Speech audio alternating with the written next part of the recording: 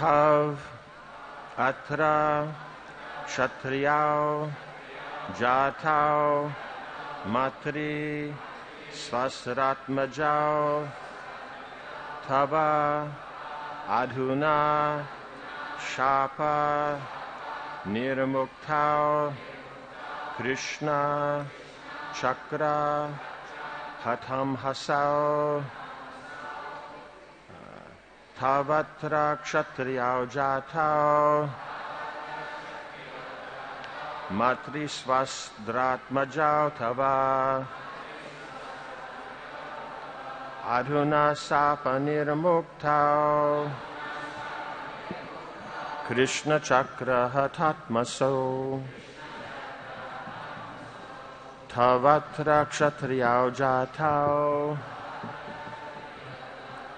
मातृस्वास्त्री जथाथवा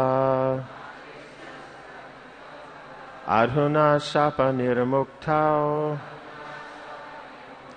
कृष्णचक्र हथां हसा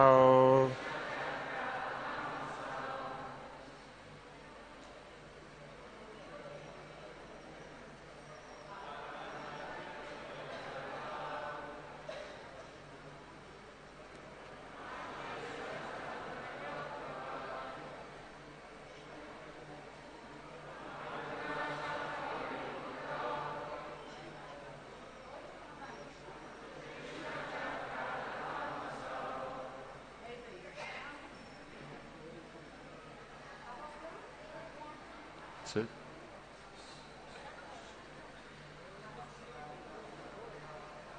Oh, true. Making it equal.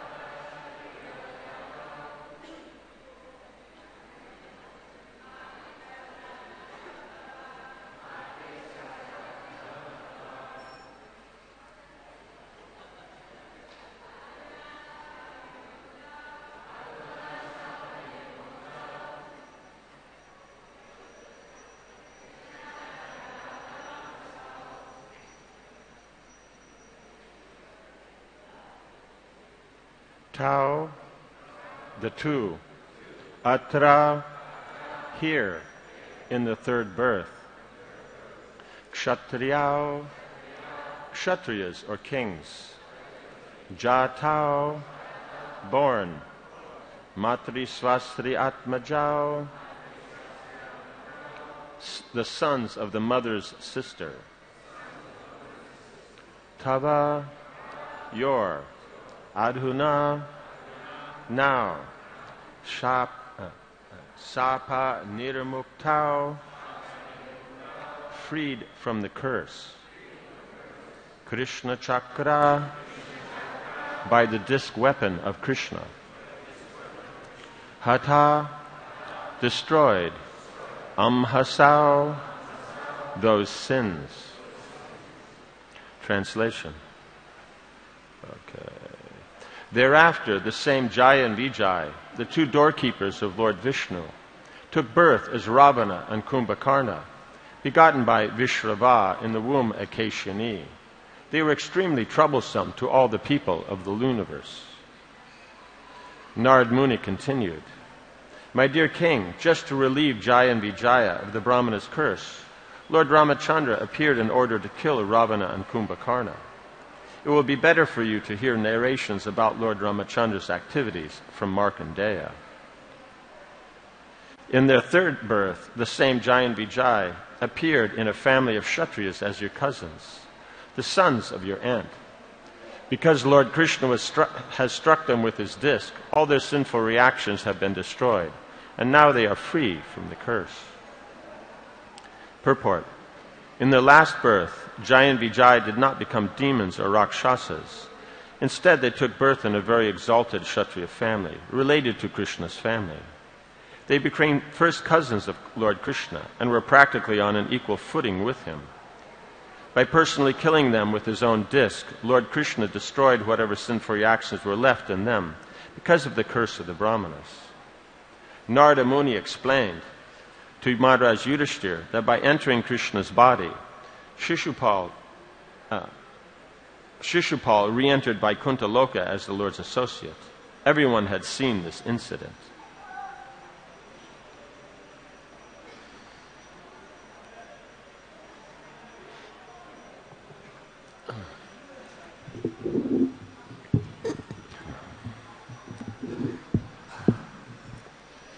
So the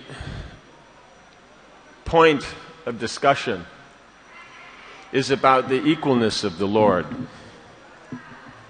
Because we have our own particular idea what equalness should look like. So sometimes the Lord's actual nature of equalness is sometimes hard to appreciate. Because it seems that so many people get benefit and so many people get difficulties. So nice people are getting difficulties, not so nice people are getting benefits. What's, how is the equalness? What is the, what is the position or how do you judge equalness, right? Because this is the actual crux of the whole actual, how you say, spiritual and material consciousness. Is what do you use as the factor of judgment? How do you define something? Because there's unlimited ways you could define, right? Depending upon all the varieties of mundane consciousness. Spiritual consciousness is only one way to define, so that makes it easy. Once you get to the spiritual world, whatever the aspect within there, Vaikuntha, Dwarka, Braj, they all think in one way. It's all about his connection to Krishna, pleasure of Krishna. So, therefore, there, the decision making point is about how it pleases Krishna. Then from there you work back into your particular mood, your particular relationship, the particular uh, nature of the realm that you're serving in, so that will have its unique expression. But the central point is always about the Lord's pleasure, nothing else. While in the material world, then because here every living entity is thinking about themselves, then it's going to be based on, uh, our view is going to be based on what's good for me. And so something that's not nice may be good for me, I'll say it's good. Something's nice, but it's not good for me, I'll say it's not good. So then we become confused. But from the transcendental platform, it's just simply what does Krishna want? What is he like? What pleases him as a person? That's what's defined in Shastra. Shastra defines what pleases Krishna. Depending upon the individuals, their particular conditioning, their particular values and interests, then the pleasure of Krishna will be presented in a variety of ways. From more subtle, more metaphysical, to more gross, to more intellectual, more sentimental, more attachment, less, more detachment, and any combination. So all the different shastras give the same points, just they use different wordings to explain it. Right? Just like you have synonyms, they explain the same thing, but depending upon the flavor, the mood, the situation, you use a different word. It matches. So the shastras are like that. All they're defining is what pleases Krishna. So then, basically, it comes down to is that since it's about Krishna, then how he constructs things, how he arranges things, that's what's going to make for his pleasure. So, someone who follows the Vedic recommendation, whether it's known or unknown, will please Krishna. If you know it and you follow it, that will please more you don't know it, but you follow it, then Krishna will be, it's nice. It's better than not following. So that's actually the bottom line. How close it is to what Krishna wants. How, what does he like as a person? So then, that's why you see someone who's not necessarily a nice person may somehow or another be doing something right.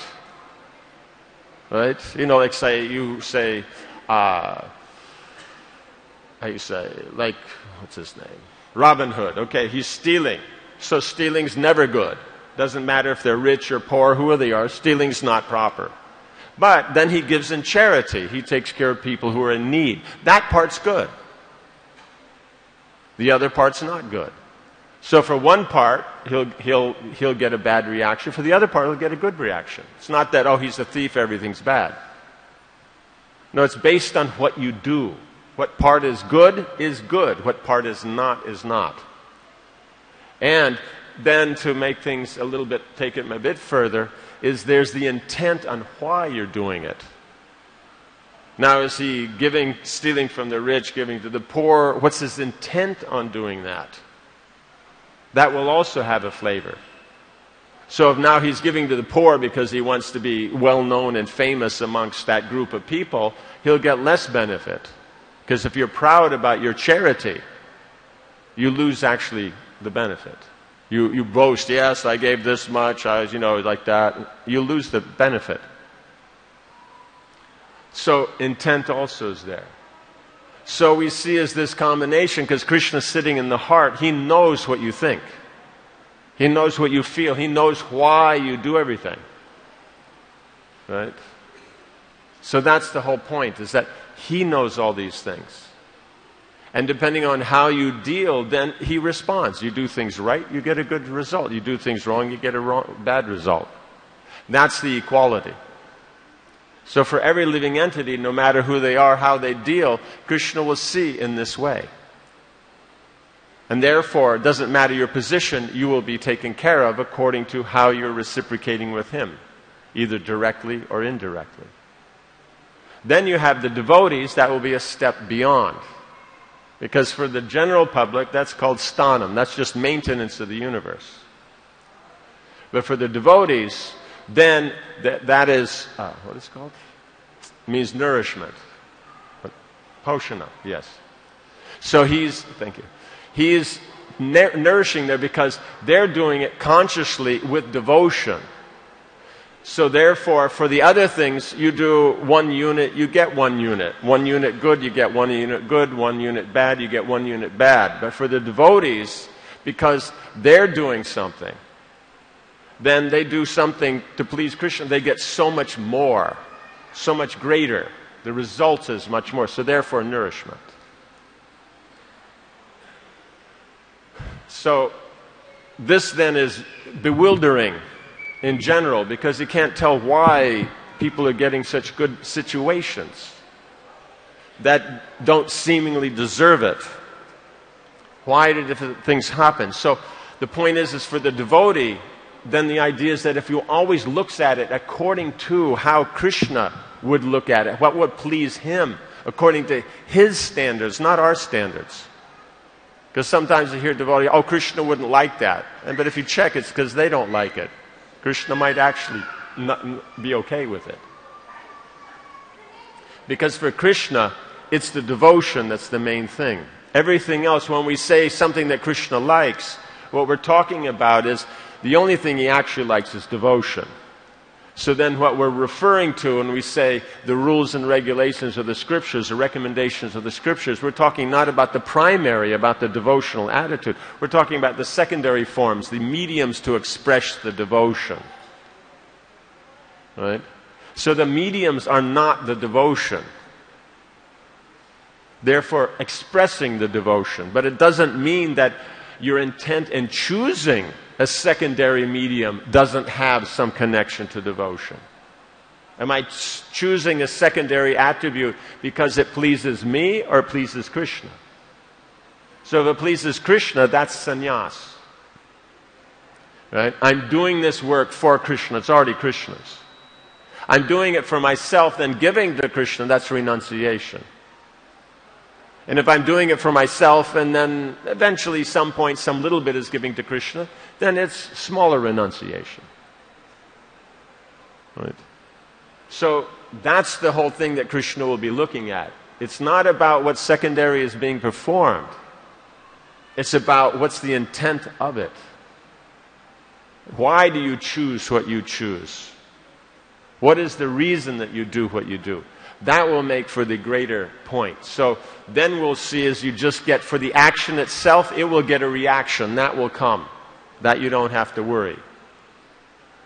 But beyond that, that's going to come based on what's the intent in, in connection to Krishna. So that becomes the subtlety there. So it's about the personal relationship with Krishna. That's actually the whole point of everything. It's not about the rules and regulations. It's not about the forms. It's not about that. It's about that devotion. And so, because it's about the devotion, it actually starts from devotion. Here we're starting from the externals working towards devotion. But we have to remember in the spiritual world, they start from devotion and then there's a secondary manifestation of that. Mother Yashoda. She has love for Krishna. That's the primary aspect. The secondary is she expresses that particular parental love through cooking for Krishna, keeping the house nice for Krishna, making nice clothes for Krishna, worrying about Krishna. That's the secondary. Right? So that means how does this work? There it's the primary is first, then the secondary follows to support it. Then it reflects off the viraja of our desire. Then it reverses. Because if we look at it, what are we interested? Are we envious of the devotion that Krishna gets, that the love is there, or it's about the facilities he has and the enjoyment he gets from it? So therefore, it reflects off of our attachment or lust for the secondary items. Therefore, the first thing to look at is we, I mean, the first thing we do is only deal with secondary. Primary, we very rarely ever get to. It means one in the devotional we never get to, basically, unless we take up devotional service. But even on the mundane platform, actually, the purpose of a secondary aspect, very few people know and do. Because what you do is always going to be, go back to some good quality. Right? Why does somebody have a house? Why does he work very hard to have a house? Take out a mortgage, work very hard, save his money, you know, uh, miss out on so many facilities he could have, but he's working for the house. What's the point of the house? Right? The point of the house is security, safety. An environment in which then members of the family can have a relationship and express that relationship in a stable, steady way, because you know it's going to be the same every day. Right? That's the point. But the focus is all on the secondary, the external point. It's about the house. You have a nice house. Oh, family life must be great. You don't have a nice house. You can't have good family life. But actually has nothing to do with that. It's whether you appreciate the quality of that security, the quality of the relationship, then you can have something. That's what actually makes things function. But by modern advertising, hey, you don't sell money off of that much. Like that. It goes by the secondary, the social, all these different things, the economic. So we're looking at the secondary. Therefore, the scriptures, first thing we'll notice is rules and regulations because that's where we put all our focus. So then there's recommendations. These secondary aspects, these are followed by the residents of the spiritual world. This is what they do. This is how they eat, they talk, they walk, they sit, they dress, they dance.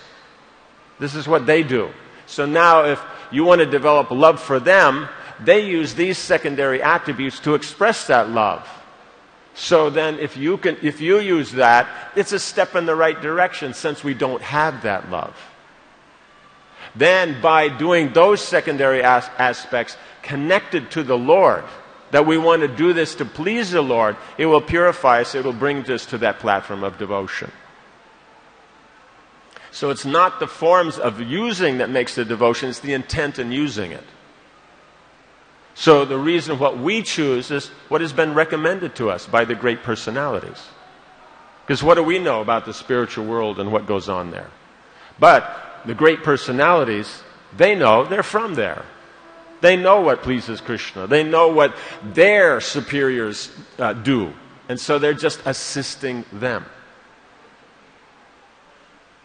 So then, that's why then the secondary, that's, so the devotee is doing these secondary to please Krishna with the intent of developing that love. Therefore, poshanam, or nourishment.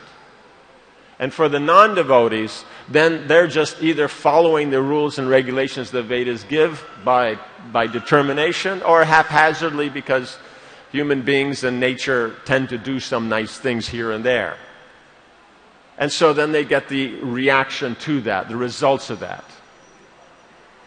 So, this is, if you look from this perspective, then you can actually see how Krishna maintains, how he reciprocates with everyone. If one uses another formula, one will find it will be very confusing. So, this is what Narad Muni is explaining is that it's the aspect of pure devotion that makes things work. That's what actually is the functioning point. Everything else is simply something to support. There's recommended aspects of support, there's things that are neutral, and there's things that are actually opposed, like that. So the acharyas, they discuss these things. So Prabhupada tells what is useful, what is not. so here then is pointing out is because of that contact with Krishna, because of their absorption in Krishna, they're going to get something, right? They are thinking of Krishna, right? The point is, is one should always be absorbed in the Lord. So, uh, uh, Ravana, Hiranyakashipu, Shishupal, they are. They're totally absorbed. Therefore, being killed by the Lord, they don't know He's the Lord. They get material facility. Right? Understand means connecting oneself to the Lord gets benefit. They're getting the benefit. One can say they're demons. Why are they getting this benefit? Because they're actually connecting themselves to the Lord. Right? Just like we see the demons, they follow Shukracharya, they surrender to him, he's the guru, they do what he says, they get elevated to the heavenly planets. Indra, he offends his guru, he ends up sitting in a lotus stem in the Manasarovar you know, hiding there. And the lotus stems, if you look at them carefully, they're not very big. Right? So that's just how it works. It's Krishna's system. It's not our system. It's not how we say it should be. It's how Krishna says it should be. That's what's going to get us something. We have to look at it from that point. That's the perspective. The International Society for Krishna Consciousness. That's the point, is the consciousness is there. Not just saying, yeah, yeah, we're conscious now, what about this? No, it's about that is the thing. Then you choose the best secondary to express it. It's not about the secondary, it's about which is best to express the primary. You make it about the secondary, you'll miss the point. You'll miss the primary. Right? It's which one to do, which one matches the situation. So that's what the Vedas are all about. What is the time, place, and circumstance? To see one's Krishna consciousness in connection to, and see that consciousness in that situation to ex, ex, uh, how you say, engage it in Krishna's service. That's what the Vedas are talking about. So they talk about all the different situations, all the different activities, all the different results you can gain, but that's only so that you can decide which one is best for serving Krishna right now. Nothing else. It's not time, place, and circumstance to get it practically done for me. It's time, place, and circumstance to actually express devotion for Krishna. And then by the practical activity, practical results will come. But the point is, is your consciousness will define whether you get devotion from that practical endeavor or not. Like that. Okay, are there any questions or comments? Yes.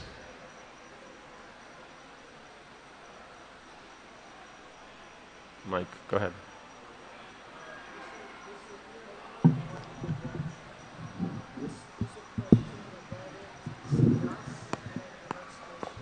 A question regarding sannyas and renunciation, okay?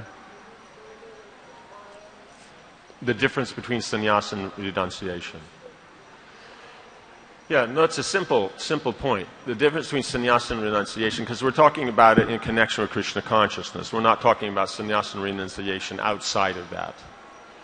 So basically, you have an activity, you perform the activity, it will generate a particular result. Right? That's just the way, that's just how, by the, Lord, the laws of the Lord, his energy transforms right? You follow the law correctly, it transforms in a particular way. You don't follow it, it transforms in some different way, okay? So now, if I engage in a particular activity that will result in transformation of the energy that will produce a particular result, now why am I doing that? So it's not the activity itself, because we always take everything, it's the activity, it's this, it's that. No, it's why you're doing it. Remember, the jiva can desire. We, we're not the one that's doing it right? The energy itself is transforming. Right? Just like I put something in a blender and push the button, I don't blend it. I can say I blended it, but I didn't. The machine blended it.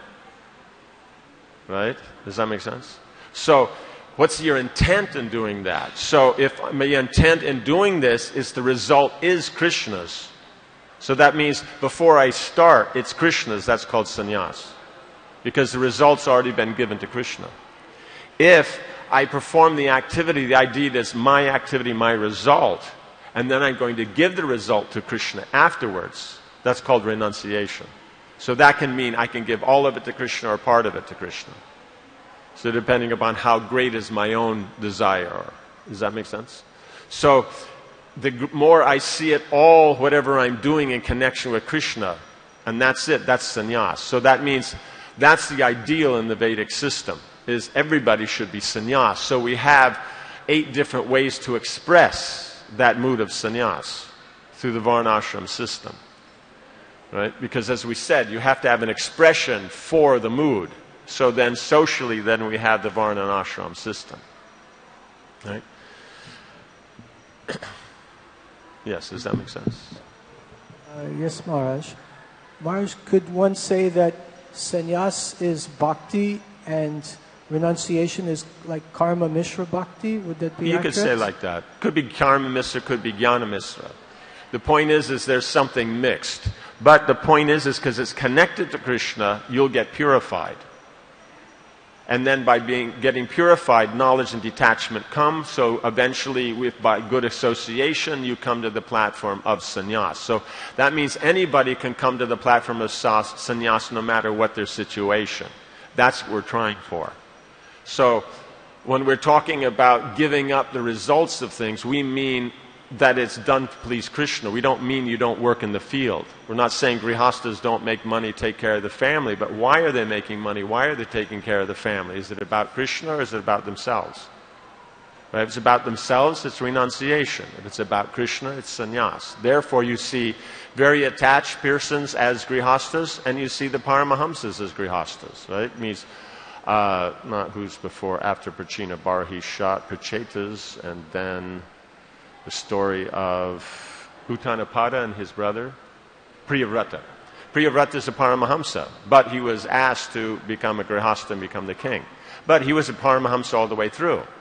So he's simply using Grihastha ashram to perform those duties to please Krishna. Right? Most people take up Grihastha ashram because they like the results and working in that field of, of uh, endeavor. They're comfortable there. So they do that for Krishna, right? So it'll be renunciation. But he would be in that position as sannyas. So, but that means because it's not about him, he does the duties nicely. Therefore, he'll look like an attached householder. That was the doubt in the questioning about it. How is it that, uh, you know, by attachment you're not going to get devotion, and someone who has a devotion would never manifest attachment? So how is it the Prachetas are in family life for a long time, like I think it was a million years, and uh, and at the end then they were became you know great personalities and went back to Godhead. That's because they were great all the way through. But you only see externally when they gave it up and took to the renounced orders then you see, okay, now they're detached, but they were detached all along. Because it was all about, I'm following Grihastha life simply because this pleases Krishna. Therefore, they do it. It's like a drama. Right? A good drama, a good actor plays his part well. It's not that he thinks I am that. Right? You know, except for, yeah, okay, the Stanislavski is, okay, they'll say I am that. But technically, you're not. Right? So, they're, they're, they're playing their part. And they're playing it well. So therefore, to everyone else, it looks like, okay, here's a very attached grihastha. But you can tell by other symptoms that they're not, because family is happily, family is this. It's an interesting point is that in the, um, I think in the, oh, I can't remember. I think it's fourth canto. Then the discussion is, oh yeah, with Puranjana, the discussion is there about, about, probably brings up about attachment and hatred. So when we see hatred, we see all this, you know, all the isms and all the fractional kind of things. That comes up because there's material desire. There's no material desire, you don't see that. That's how you see the symptoms. Like with the Pandavas, do you see that they see all, that there's us and them? No. But with Duryodhana, you do. Right? Because he has desire. Yudhishthir doesn't. Right? So that means Yudhishthir is doing, he's running his kingdom, he's dealing with his wife very gently and nicely. You know, he's not going, hey, I don't need this, I want to chant my japa, you know, why are you being so trippy? No, he deals with everything. So he deals perfectly with all the household elements. But it's because that's how Krishna says the Grihastha should run. So he's doing it to please Krishna. So that's sannyas. You understand? So the idea is, is that latest you attain that by the time you take sannyas. When you take sannyas, then you can, okay, now you don't have anybody else to work for, so therefore it should be, it's about Krishna. Right? So at least there, then, if, not, if you haven't developed it before, here's the, you know, that's like on the trapeze, you have the net below right? You know, in case you, it doesn't work before that, then at least by this time, then you get it right. Does that make sense? But in the Vedic system, it starts before, like Prahlad Maharaj, and here he's already sannyas and he's three years old. Right? So that's, that's, the, that's the point. So sannyas is a mentality, then it has its natural external form. So the confusion comes as grihastha doesn't look like sannyas. Right? But if it's done in Krishna consciousness, it is. Does that make sense? So, so that's the whole point is that is it about Krishna or is it not? So that's why we have to look at that as the first. Then we start looking at the secondary and the forms and how they match and everything like that. Does that make sense? Yes. You had something back? Yes. All the way to the back. Very much the back.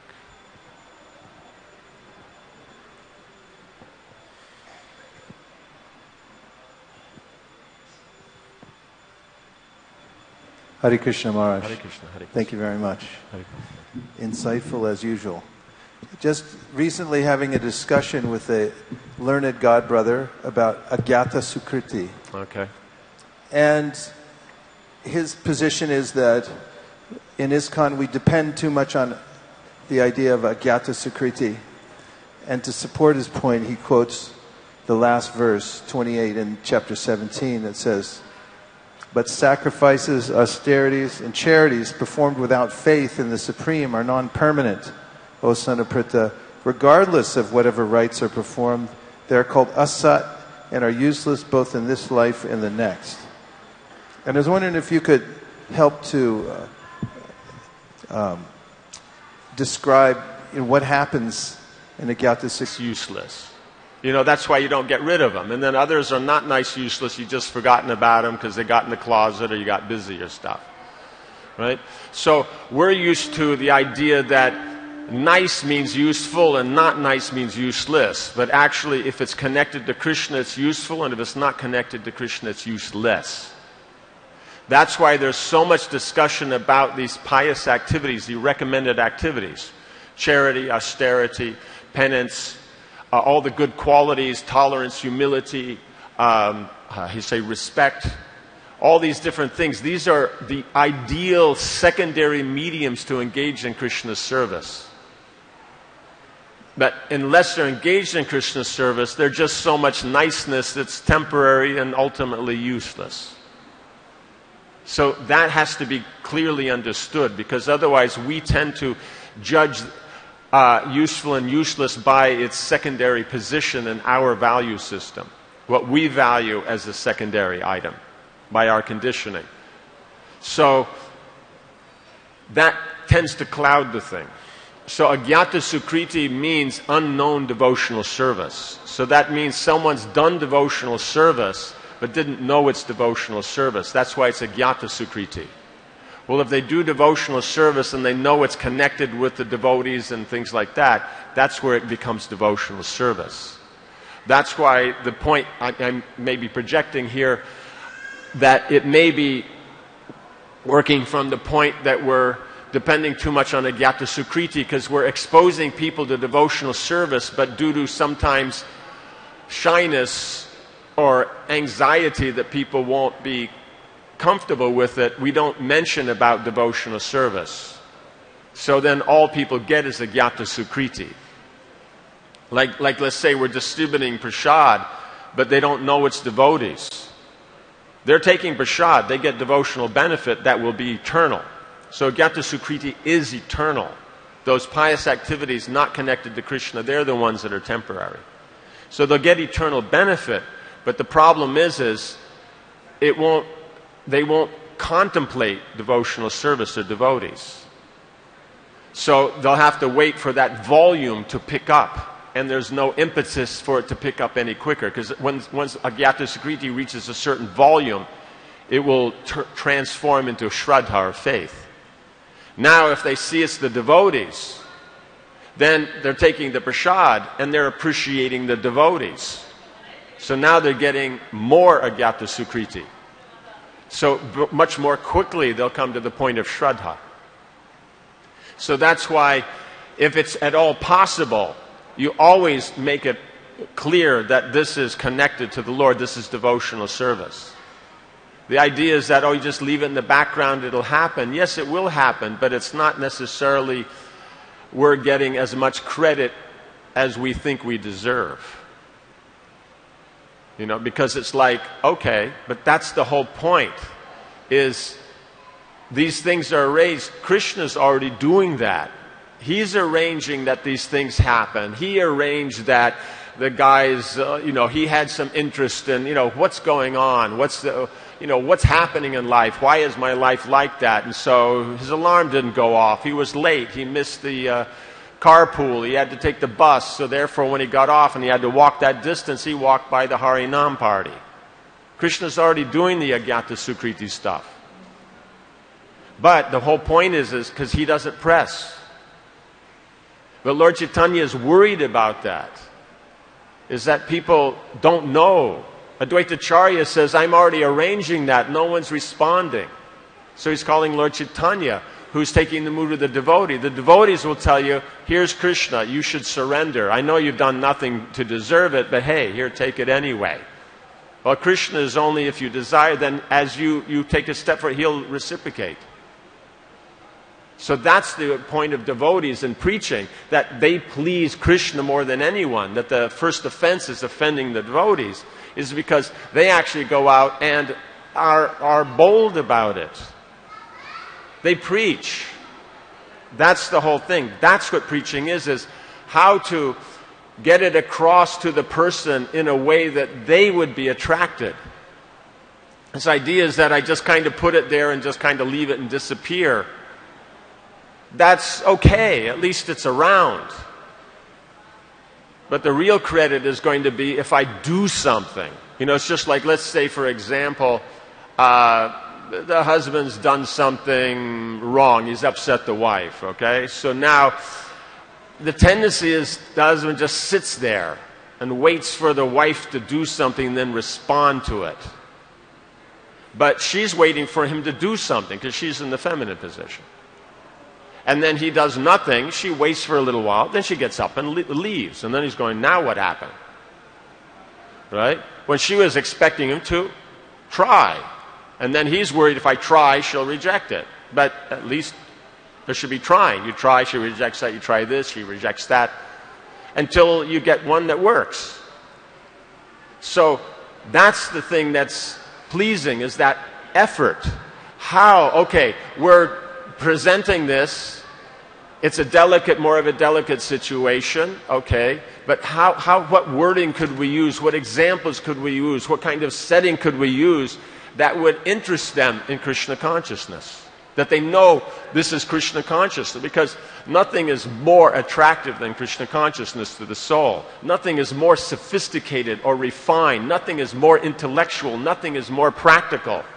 And so if one has that faith, one will find it. If one doesn't have the faith, one will, of course, the karmis are more sophisticated, they're more intelligent, you know, they're more professional, they're more this, and who are we? So we just kind of in the back and hopefully throw it out and maybe they'll notice. But if you have faith, there's nothing better than Krishna. He's the most attractive. He makes the atoms hold together, right? The gravity they talk about, Krishna enters. They say when there's a certain mass, but what they forget is how does mass hold together? You have to have gravity in the first place to get mass. So that means Krishna enters these atom, and because of his, uh, that mood of Madan Mohan, they attract to each other. So he's the attractive feature that makes everything work. So if we can present Krishna in wording and examples that the individual can, can appreciate, then they can take up Krishna consciousness more quickly. Because otherwise, then we just leave it to chance, and who knows how many lifetimes it'll take. Because the way people are going these days, there's going to be a lot of lifetimes in between their next human life right? As it mentions in the Shastras, they go to hell for so many times, then they go through so many animal species, then they come back to the human form of life and they get another shot.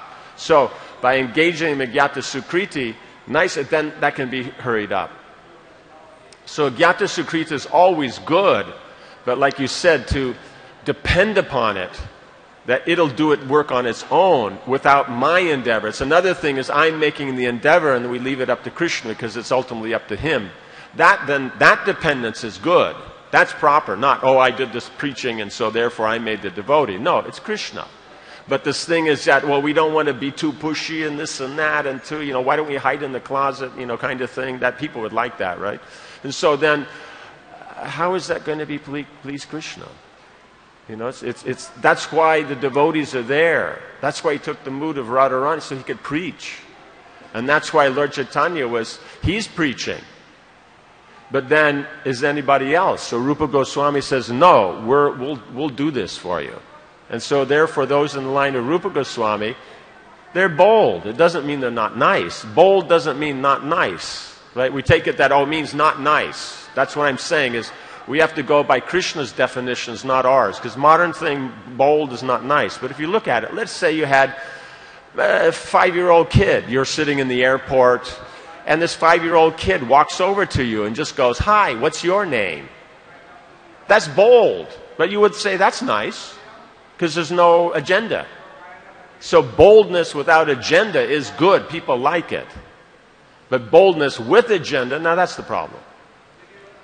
So we have to understand is all these good qualities, they're all good when they're connected to Krishna. And if they're not connected to Krishna, no matter how nice they are, they're still temporary. The guy's a nice guy this lifetime. Next life, what's it going to be? You know, a nice deer? You know? I just read about they have these little miniature donkeys. They're about this big, right? You know? Like keep, people keep them as pets. And they say they're really, really nice. They're really like kids, you know? So it's like, okay, then he becomes a nice, nice, you know, miniature donkey in somebody's backyard, takes care of the kids, loves kids. Okay, great. But he's a donkey. You know? So that's, that's, sorry. That's the problem, is that he's nice, yes, but next life he's going to be a nice what? So only when that niceness is connected to Krishna does it become a value. That's what the, that's what the Bhagavatam does from all other scriptures. All other scriptures tells you how technique works, and understanding the te- technique, this is where it connects to Krishna. Bhagavatam, all it does from verse 1 to the last verse is this is how you, con- this is how you connect to Krishna. These are the things you can connect. Right? It starts with the primary and then shows how secondary has been used by the great personalities. All the other literatures, they show what are the secondary and how people have connected it to Krishna. You understand the difference? So one shows the science and then there is the connection in a few verses. Bhagavatam is all about the connection, and then those connections, the examples are given through kings and householders and, and you know, sannyasis and brahmins and you know, all kinds of situations. So that's the unique, that's why it's the Paramahamsa scripture, because it's talking about the direct devotional service, pure devotional service. The other ones are talking about activities you could engage them in Krishna's service or not. They're pious activities. But they're the recommended activities. Devotees are supposed to be pious, live a pious lifestyle. Pious by Krishna's definition, not by ours. And then, but do that for Krishna, because being pious is not enough. It's a, it's a nice way to spend your time here, but you'll spend your time here. Well, if you do it connected to Krishna, then you'll get out of here and go back to Godhead. Is, is that worked? Is that. Sadhu, sadhu. Okay, thank you, thank you, thank you. Okay, last question. Yes.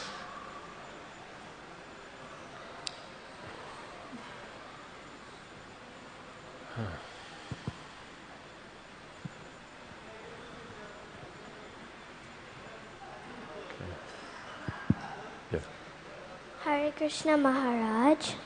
Okay. Since in Kali Yuga, people can very easily offenses to the holy name, and Lord Chaitanya is very merciful.